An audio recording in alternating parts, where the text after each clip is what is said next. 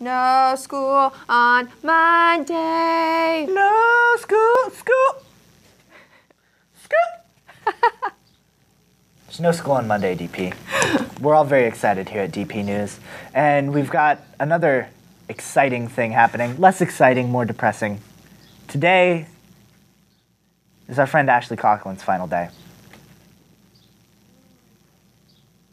DP News starts now.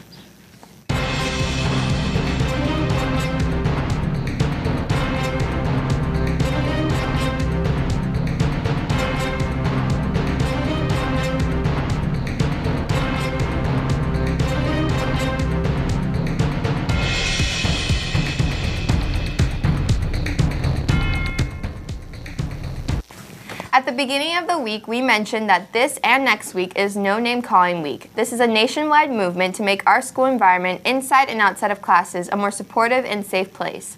Next week, the Social Equality Club will be having activities in honor of the week, so be sure to stop by the club Tuesdays at lunch. Build season is well underway for DP's robotics team. Here's a video from engineering with some interviews of team members. All right, hi, my name is Tony, and I'm a member of the programming team for the 2015 FRC Team 1717. I'm Gavin Poe, and I'm a member of the programming team. Okay, so I'm Adam Dye, and I'm a member of the programming team for Team 1717's First Robotics team. Hi, I'm Owen McKenzie. I am a member of the electrical team for this year's 2015 Team 1717 FRC team. So basically, they give me like this hunk of metal with like a bunch of wires on it, and then like I type some magical words into the computer, and then like it moves around and stuff. It's pretty dank. I don't know, I work on the drive code and the autonomous code. Yeah, that's what I do. I try to like get people who are being unproductive to do stuff, so that's pretty important. Anything that involves motors, wires, pistons, anything like that, that's my job. Winning, hopefully, cracking skulls and taking names. Uh, I'm looking forward to our first regional. This year, I'm probably looking forward most to the people, all the experiences that I'll have with everybody in the academy. I think it's going to be a great year. Um, just making friends, maybe some enemies. I don't know, but uh, I think it's going to be a great year, just uh, as a family. Every year, the high schools in Santa Barbara and Carpinteria unite to educate the community on higher education options for AB 540 students. The 10th annual AB 540 College Night will be next week, January 29th, in the Santa Barbara High School cafeteria from 6 p.m. to 8 p.m. Now over to a, a message from our head counselor, Scotty G. Hi, this is Scott Guttentag reporting to you from the Registrar's Office. Are you finished with DP at the end of this semester? Are you a foreign exchange student going back home? Are you changing schools? Are you moving? If you're doing any of these things and you're not going to be with us next semester, you need to be checking out of the Registrar's Office and you need to report to Ms. Navarez first thing on Tuesday morning, the 20th. She will give you a set of exit papers that you can take around to all of your teachers to get signed out. You also need to make sure that you turn in all of your books. We will not be able to send information from Dos Pueblos to your next school if you do not check out appropriately and if you do not return all your books and pay all your debts. If you have any questions about this, you can see your counselor or also check with Ms. Navarez in the registrar's office.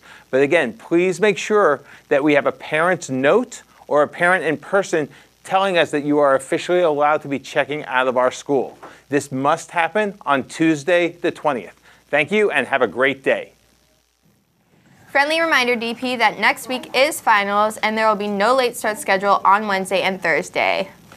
Repeat, there will be no late start on Wednesday and Thursday, DP. Get it right, get it tight. There are some exciting new nutrition opportunities coming up. Here's an announcement from some members of the Nutrition Task Force. Hi, my name's Tim, I'm Will. And I'm Ethan. and we wanted to inform you about new nutrition kiosks that are available. The locations are near the H Wings and the B Wings.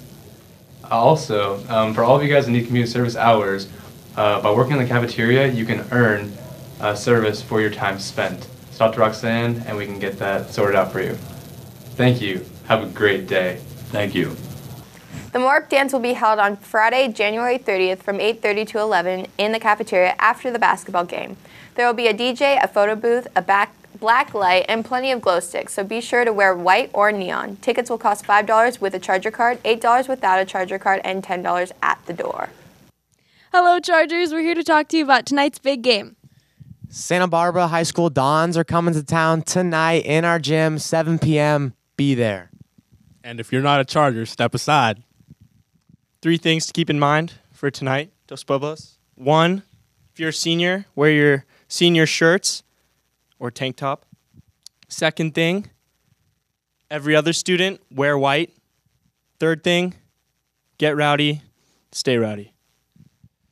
SB's coming off a big loss, so let's take it to them while they're down and show them what we're all about. And good luck to all the players tonight. Let's go. Beat SB. Well, DP, it's uh, it's been an interesting day. It's almost the last day of the semester. We've got one more show left, and uh, just a few things I'd like to uh, like to go out on. First of all, it's our uh, lovely director of photography's birthday today. Happy birthday to you. Ethan Coster. Uh, just wanted to let him know. Uh, also, uh, in case you didn't hear me say it earlier, Stay strong. just give me okay. It's Ashley's last day, and here at DP News, we want to thank her and we will proudly miss her. Now, over to Ashley with her last show of sports ever.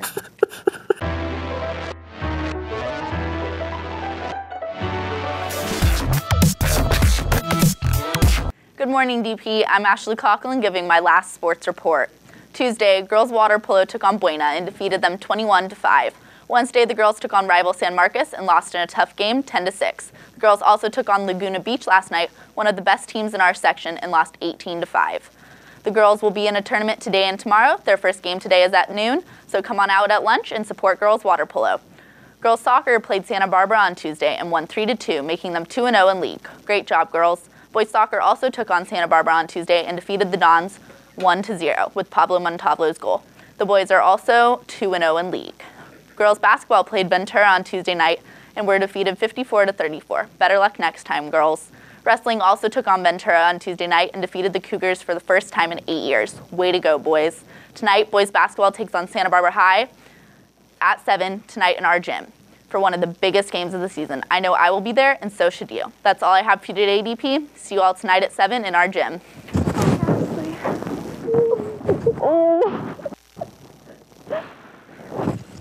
Cheers, DP. Cheers. Is it still recording?